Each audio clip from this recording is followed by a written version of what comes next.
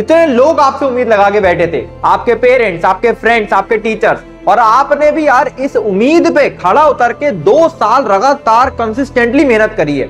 हर दिन उठ के उसी टाइम टेबल उसी शेड्यूल को फॉलो करना, वही बोरिंग सब्जेक्ट्स को पढ़ना फिजिक्स केमिस्ट्री मैथ खुद को डिस्ट्रैक्शन से दूर रखना। जब आपके जो फ्रेंड्स हैं, जो कि बोर्ड एग्ज़ाम की तैयारी कर रहे होंगे, या फिर आपके जो जे की तैयारी नहीं कर रहे होंगे, वो बाहर घूम रहे होंगे, मज़े कर रहे होंगे पार्टीज़ कर रहे होंगे, उस समय बैठकर आप अपनी पढ़ाई के ऊपर फोकस करे हुए थे। तो मेरे भाई, सबसे पहले तो इस वीडियो की स्टार्टिंग करने से पहले खुद के लिए ताली बजा लो मेरे भाई, क्योंकि आप हो एक असली वॉरियर क्योंकि आप वॉर लड़ने जा रहे हो मेरे भाई, आपने जो मेहनत करनी थी, जो इस चीज़ के लिए रिक्वायर्ड था, वो कर लिया है। और आप ये वॉर ऑलरेडी जीत चुके हो। अब तो खाली रिज़ल्ट आना बाकी है। हो सकता है भाई रिज़ल्ट किसी का अच्छा आएगा, किसी का खराब आएगा। लेकिन ये ज़्यादा मैटर नहीं करता है कि रिज़ल्ट खराब आ रहा है अच्छा आ रहा है। ये मैटर करता है कि मेरे भाई, तुमने दो साल कंसिस्टेंटली मेहनत करी है और अब तुम्हें मेहनत करने से डर नहीं लगता है। आगे जाके कॉलेज में भी कोई एग्ज़ाम होगा, आगे चल के कोई भी चीज़ क्रैक करनी होगी, तुम यार मेहनत करने से डरोगे नहीं और ज़रूर इसको फोड़ के लेके जाओगे। अब एक बड़े भाई की तरह यार, आखिरी दिन है एग्ज़ाम्स के कुछ दो तीन चीज़ें बता देता हूँ जिससे 20 से 30 नंबर तुम बहुत ज़बरदस्त लेवल पर बूस्ट कर लोगे अभी के अभी। ठीक है? मेरे को भी डर बहुत लगा था मेरे टाइम में, मुझे याद है। लेकिन अगर आप थोड़ा सा स्मार्टली चलते हो तो आप बहुत ज़बरदस्त लेवल पे परफॉर्म कर सकते हो। सबसे पहले जो बच्चे भी आज के समय में 60 टू 70 स्कोर कर रहे हैं मॉक टेस्ट के अंदर, वो इस स्कोर को 100 से 120 तक ले जा सकते हैं। जहाँ पर कट ऑफ़ भी क्लियर हो जाएगा और अगर आपका कैटेगरी एडवांटेज है तो आपको एनआईटीज के अंदर भी एडमिशन मिल जाएगा। ठीक है? और यहाँ पर भी, यहाँ पर भी एनआईटीज मिल सकता है, वो शिफ्ट के ऊपर भी डिपेंड करता है। 100 टू 110 जा रहे हो, बहुत बढ़िया स्कोर है। आप आराम से 120 टू 130 एग्ज़ाम निकाल सकते हो lower NITs lower NITs in terms of cut off बोल रहा हूँ मैं, ठीक है? क्योंकि एनआईटी तो सभी अच्छा परफॉर्म कर रहे हैं lower NITs in terms of cut off ये आपको मिलने के चांसेस बन जाते हैं।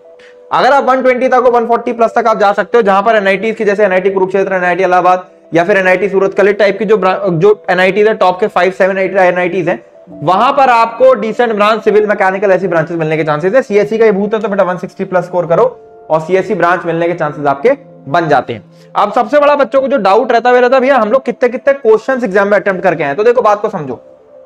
आप इस समय मॉक टेस्ट में जो सीरियस अटेम्प्ट है, उसको काउंट करो, ठीक है? मेरे ख्याल से, अगर आप 30 के आसपास अटेम्प्ट कर रहे हो 100 के आसपास लैंड करोगे 40 कर रहे हो 50 कर रहे हो 60 कर रहे हो तो ये स्कोर से जाना आप लैंड करोगे। अब इसका डिस्कशन मैंने क्यों करा कि भैया ये नंबर ऑफ़ क्वेश्चन का डिस्कशन क्यों करा?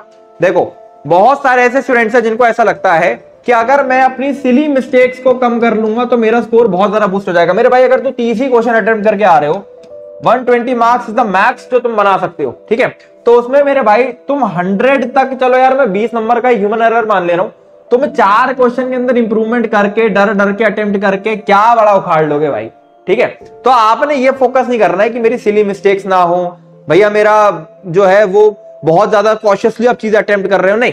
अटेम्प्ट करना है, थोड़ी सी चीज़ों का ख्याल रखना है, और डरना बिल्कुल नहीं है कि हम लोग यार थर्टी अटेम्प्ट कर रहे हैं फोर्टी अटेम्प्ट कर रहे हैं फिफ्टी अटेम्प्ट कर रहे हैं, ज़्यादा तो नहीं है, क्योंकि शिफ्ट इजी भी आ सकती है। तो इजी शिफ्ट के अंदर क्या होगा? क्वेश्चन होते हुए लग रहे होंगे तो करना ना अटेम्प्ट आप क्यों सोच के बैठे हो?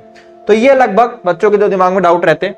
अब आ जाते हैं मेन चीज़ के ऊपर। वो है कि आप अपने स्कोर को इस समय बूस्ट करने के लिए क्या कर सकते हो? देखो, अगर कोई बच्चा 30 क्वेश्चन अटेम्प्ट कर रहा है एग्ज़ाम के अंदर, ठीक है, बात को समझना बहुत ध्यान से। आप 30 क्वेश्चन अटेम्प्ट कर रहे हो एग्ज़ाम के अंदर तो आप मैक्सिमम 100 110 यहीं तक तो पहुँच सकते हो, ठीक? लेकिन अगर हम चाहते हैं कि स्कोर को हम बूस्ट कर सके तो हमें नंबर ऑफ़ अटेम्प्ट बढ़ाने पड़ेंगे सीरियस नंबर ऑफ़ अटेम्प्ट तुक्के नहीं मार दिए सीरियस नंबर ऑफ़ अटेम्प्ट तो ये अगर पैंतीस पे चला जाएगा तो हो सकता है पाँच जो सवाल हमने एक्स्ट्रा अटेम्प्ट करे, उसमें से तीन सवाल हमारे सही भी हो जाए तो हमारे पाँच दस नंबर का इंक्रीज आ गया। समझ रहे तो उसके लिए आप क्या कर सकते हो? देखो बात को समझो। फिजिक्स और केमिस्ट्री के अंदर आपने जो भी चैप्टर्स बिल्कुल नहीं छू रखे हैं, पूरी दुनिया आपसे कहेगी, उन चैप्टर्स को इस समय मत कवर करो। मैं आपको एक चीज़ छोटी सी बोलता हूँ। इस समय बहुत सारे यूट्यूब पे मैराथन चल रहे हैं। Full physics in one video full chemistry in one video ऐसा कोई मैराथन उठा लो। ठीक है? और उसके अंदर उसके अंदर जो चैप्टर आपने नहीं कवर कर रखे हैं, उसके फॉर्मूलाज नोट कर लो। उसके क्या करना है? फॉर्मूलाज नोट कर लो। ठीक है? और जो सर वहाँ पे क्वेश्चन ले रहे हैं, उसको एक बार देख लो कि उसके अंदर फॉर्मूला कैसे अप्लाई हुआ। और फिर एक पीवाईक्यू सेशन उठाओ 2021 और 22 के जहाँ पर पीवाईक्यू कराए जा रहे हो। ठीक है? उस सेशन को उठाओ। जितने हो जाए कर लो बाकी का स्क्रीनशॉट लेकर रख लो एग्ज़ाम में आखिरी दिन देख के चले जाना। क्या पता एक सवाल एक्स्ट्रा आप यहाँ से बनाया हो, एक सवाल एक्स्ट्रा आप केमिस्ट्री से बनाया हो, या दो सवाल एक्स्ट्रा आप केमिस्ट्री से बनाया हो, और ये सही भी हो जाए तो आपके आठ से दस नंबर बढ़ने की प्रोबेबिलिटी यहाँ पर रहती है। अब ये चीज़ मैं आपको पर्सनल एक्सपीरियंस से बताता हूँ। मैंने एक चैप्टर था, ठीक है? मेरा एक चैप्टर था फ्लूइड्स जो कि मैंने बिल्कुल ही कवर नहीं कर रखा था, ठीक है? लेकिन मैंने एग्ज़ाम से पहले एक में एक क्वेश्चन पढ़ गया था A one V one equal to A two V two वाली, ठीक है? मेरी शिफ्ट के अंदर एक सवाल आया, बिल्कुल ही रद्दी सवाल आ गया कि यार भैया ए वन वी वन दिया था ए टू दिया था वी टू निकालना था। ऐसा करके कुछ क्वेश्चन था, ठीक है? तो भाई, मैंने ये फॉर्मूला चूँकि पढ़ रखा था तो ये क्वेश्चन में करके आ गया, मुझे फ्लूइड्स का घंटा कुछ नहीं पता था। मैंने फ्लूइड बिल्कुल छोड़ के गया था ये अकेला टॉपिक था जो मैं बिल्कुल छोड़ के गया था। तो मेरे फिजिक्स में 90 मार्क्स है, ठीक है? दो क्वेश्चन गलत हो गए थे मेरे। लेकिन ये जो फॉर्मूला था, ये जो फॉर्मूला था डायरेक्टली अगर मेरे को नहीं पता होता तो मैं करके नहीं आ पाता टाइम इसीलिए फॉर्मूला आपको सबके पता होने चाहिए और आखिरी के समय में इस प्रकार की पकड़ बनाकर रखो, ठीक है? दूसरी चीज़ क्या है? आप पेपर अटेम्प्टिंग स्ट्रैटेजी की बात कर लेते हैं थोड़ा।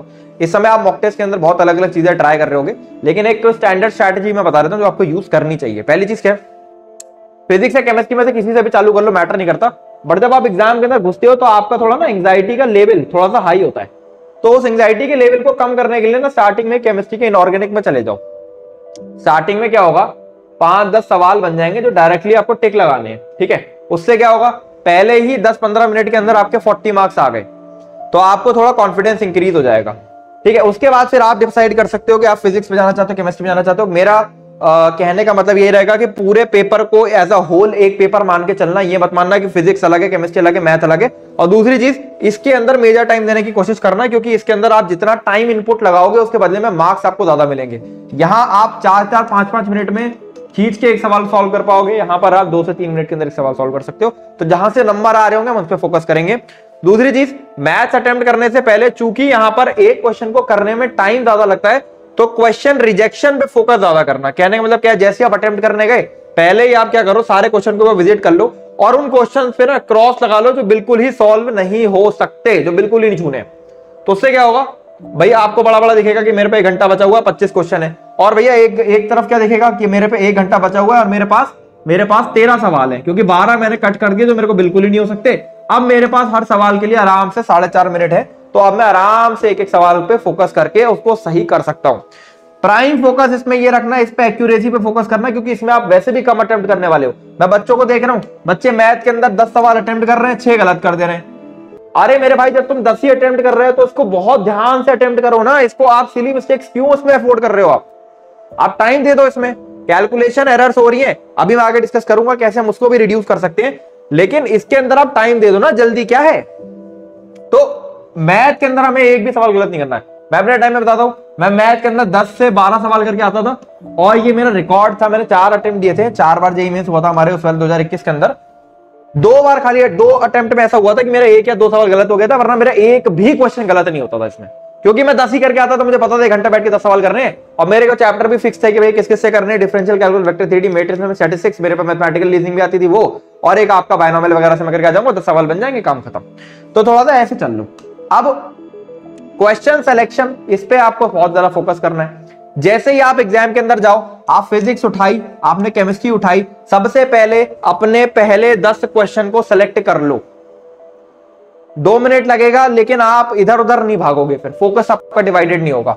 दो मिनट में आप गए पेपर खोला पेपर खोलते ही मेरे को पहला करना है, पांचवा करना है, छठा करना है, नवा करना है, ऐसे करके लिख के रख लो। बस, फिर एक पे गए, पाँच पे गए, छह पे गए, नौ पे गए पर टिक लगाते गए। अपने कॉपी के अंदर। आपको भी अच्छा लगेगा कि हाँ यार, या फिर मार्क्स फॉर रिव्यू कर दिया कि यार चलो क्वेश्चन अटेम्प्ट हो रहे हैं कॉन्फिडेंस आएगा। प्लस क्या है? प्लस क्या है? आप क्वेश्चन अटेम्प्ट करते समय थोड़ा सा क्लीन क्वेश्चन अटेम्प्ट करना, सफ़ाई से करना, ऐसे कचड़ बचड़ मत कर देना कचड़ बचड़ करोगे तो नंबर भी कचड़ बचड़ हो जाएँगे।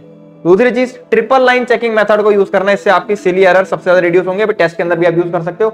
जय संकल्प की ऑल इंडिया टेस्ट सीरीज़ चल रही है, आप लोग दे ही नहीं रहे हो यार। हैं? कितने सारे बच्चे अटेम्प्ट कर रहे हैं? टेस्ट को अच्छे अच्छे मार्क्स लेकर आ रहे हैं, अच्छे अच्छे स्कोर बूस्ट कर रहे हैं। तो आप भी यही संकल्प की टेस्ट सीरीज़ ज़रूर लो। डिस्क्रिप्शन में लिंक पड़ा हुआ है। ऑल इंडिया टेस्ट सीरीज़ चल रही है। अच्छे से परफॉर्म करो उसके अंदर। ट्रिपल लाइन चेकिंग मेथड हम यूज़ करेंगे। क्या होता है triple line checking method x square x square equal to twenty five ठीक है? X equal to plus minus five मान लो इससे पहले मैंने एक स्टेटमेंट और लिख रखा था, ठीक है? जब मैं जब मैं ये वाला स्टेटमेंट लिखूँगा तो एक लाइन छोड़ के मैं ऊपर वाला स्टेटमेंट चेक करूँगा वापस से। ठीक है? अब आगे मान लो मैंने प्लस माइनस फाइव इसकी वैल्यू आई। मेरे को कुछ ये इक्वेशन थी, y equal to four x तो मेरे को y में पुट करना है, y equal to four into five और y equal to four into minus five ठीक है? जब मैंने ये वाली इक्वेशन लिखी, तब मैं इसके दो दो, एक स्टेप छोड़ के ऊपर वाला स्टेप क्या था? ये ये मैं चेक करूँगा। जब मैं ये लिख रहा था तो एक स्टेप छोड़ के जो ऊपर लिखा हुआ था, ये स्टेप चेक करूँगा। यानी कहने का मतलब क्या है? जब आप ये स्टेप लिखोगे, आप इसका एक स्टेप छोड़ के ऊपर का चेक करोगे। आप जब ये स्टेप लिखोगे, एक स्टेप छोड़ के ऊपर का चेक करोगे। आप जब ये स्टेप लिखोगे, आप एक स्टेप छोड़ के ऊपर हाई चांसेस हाई चांसेस है कि आपको अपनी गलती नज़र आ जाएगी। अगर सिली मिस्टेक हुई होगी। ये चीज़ यूज़ करना, एक भी सिली मिस्टेक नहीं होगी। ठीक है? फिर, बहुत कंफ्यूजन है बच्चों को डॉक्यूमेंट्स क्या लेकर जाने? बड़ा बड़ी चीज़ सुन लो। आधार कार्ड ले जाओ अपना आइडेंटिटी प्रूफ कोई भी ले जाओ आप अपना। ठीक है? एडमिट कार्ड का प्रिंट आउट निकलवा के ले जाना, ये चीज़ ओरिजिनल ले जानी है। आधार हो या कोई भी आइडेंटिटी का प्रूफ हो ओरिजिनल लेकर जाना है। अंडरटेकिंग अपनी आप साइन वाइन करके ले जाओ, जो भी वहाँ पे लिखा रहता है। सिंपल क्लोथ में जाना है, ठीक है? सिंपल क्लोथ में जाना है। कोई बहुत ज़्यादा भारी क्लोथ्स वगैरह मत पहन जाना। सिंपल जो सिंपल बिल्कुल ही बोरिंग क्लोथ्स हैं आपके उसमें जाओगे। मैं तो लोवर में गया था भाई पेपर देने, ठीक है? दूसरी चीज़, कोई भी इलेक्ट्रॉनिक अप्लाइंसेस नहीं ले जाने मोबाइल लेने जाने कैलकुलेटर नहीं ले जाना पेन रख के ले जाना अलाउ करते हैं कुछ लोग पेन को। वहाँ पर अगर मना करेंगे तो भारत देना, ठीक है? अब अगले तीन दिन, जो सत्ताईस तारीख को जिनका पेपर है, वो क्या कर सकते हैं? हमारा हैंडबुक फ्री में डाउनलोड कर लो डिस्क्रिप्शन में लिंक दे दूँगा सारे रिसोर्सेज का, ठीक है? इस हैंडबुक के अपने शॉर्ट नोट्स अगर आपने खुद बना रखे हैं तो उसका दो से तीन बार रीडिंग लगा लो, ताकि कोई फॉर्मुला दिमाग से स्लिप ना हो। मॉक टेस्टिंग करते चलो, उसका एनालिसिस करते चलो डिस्क्रिप्शन में एक वीडियो दूँगा मॉक टेस्टिंग का कंप्लीट एक मैंने वो बना रखा था, कि किस प्रकार से आप मॉक टेस्ट दोगे मॉक टेस्ट देने के बाद कैसे अटेम्प्ट को जो आपने अटेम्प्ट करें उसका एनालिसिस करोगे आगे कैसे? गैस वर्क करोगे, वो सब मैंने वहाँ लिख रखा है। ये गैस वर्क के ऊपर भी मैं वीडियो लगा दूँगा गैस वर्क भी देख कर आना तुक्केबाजी वाले वीडियो भी देख कर आना, ज़रूरी है। भाई, पाँच से छह क्वेश्चन के अंदर तो आपने गैस वर्क चलाना ही है तो देख के आओ कैसे चलाएँ। ताकि पाँच से छह क्वेश्चन में से दो तीन भी ठीक हो गए तो मेरे भाई दस पंद्रह नंबर का बूस्ट ऐसे मिल जाएगा आपको? फिर बायोलॉजिकल क्लॉक अपनी समय एडजस्ट रखो, कोई बच्चा भी ये नहीं करेगा कि रात में पढ़ रहा है, दिन में सो रहा है, क्योंकि फिर आपका जो एक्चुअल एग्ज़ाम होगा, उस दिन फिर आपको रात में नींद सॉरी दिन में नींद आएगी, ठीक है? आखिरी चीज़। आखिरी चीज़ मोस्ट इंपॉर्टेंट मोस्ट इंपॉर्टेंट आपने सबसे पहले तो डरना नहीं है, ठीक है? आपने सबसे पहले डरना नहीं है मेरे भाई। देखो मेरे भाई यार, तुमने जेई की तैयारी जब कर रही थी तो ये जो सपना तुमने देखा था कि तुम्हें आईआईटी जाना है एनआईटी जाना है इस सपना देखने से पहले भी तुम डरे नहीं थे। तुमने सोचा था कि यार चलो ठीक है, मैं जाऊँगा, मैं इस एग्ज़ाम की तैयारी करूँगा, इस एग्ज़ाम को फोड़ के लेके आऊँगा इलेवंथ से हमेशा हर बच्चे का सपना होता है आई बॉम्बे जाने का। तो अब किस बात का डर है मेरे भाई? तुमने तैयारी पूरी कर ली, अब किस बात का डर है? और दूसरी चीज़ क्या है? जो आपका हाल है ना जो ये वीडियो देख रहा है जो तेरा हाल है ना मेरे भाई तेरे को लग रहा है यार मैंने तैयारी नहीं करी है मेरा टूटा फूटा सिलेबस हुआ है मेरे को चीज़ें याद नहीं आ रही है एंग्जाइटी हो रही है डिप्रेशन हो रहा है मेरे नंबर 120, 100, 100, 100 से नीचे आ रहे हैं। अरे लाखों बच्चों का यही हाल है मेरे भाई क्यों डर रहे हो? केवल आपका हाल थोड़ी है रिलेटिवली रैंकिंग आनी है और बच्चों के कंपैरिजन में रैंकिंग आनी है। आपके अकेले थोड़ी आएगी यहाँ को बोर्ड एग्ज़ाम थोड़ी चल रहा है कि 95 परसेंट ले आओगे सारे बच्चे। तो डरना नहीं है घबराना नहीं है एग्ज़ाम के अंदर हर एक बच्चा अच्छा परफॉर्म करके आएगा, मुझे पता है। और अगर नहीं भी करके आएगा तो भैया सेकंड अटेम्प्ट ठीक है, हम सेकंड अटेम्प्ट में फोड़ेंगे, हम बोर्ड में फोड़ेंगे बिटसेट में फोड़ेंगे वीआईटी में फोड़ेंगे। कहीं ना कोई ना एग्ज़ाम में फोड़ेंगे और इंडिया के बेस्ट कॉलेज के अंदर एडमिशन लेंगे। और इसी के साथ में आपको एक आखिरी चीज़ बोलना चाहूँगा, ठीक है? मोस्ट इंपॉर्टेंट आखिरी चीज़ मोस्ट इंपॉर्टेंट दिमाग में रख के चलना है इस चीज़ को, ठीक है? आप किसी भी चीज़ के लिए ज़िंदगी में मेहनत कर लें।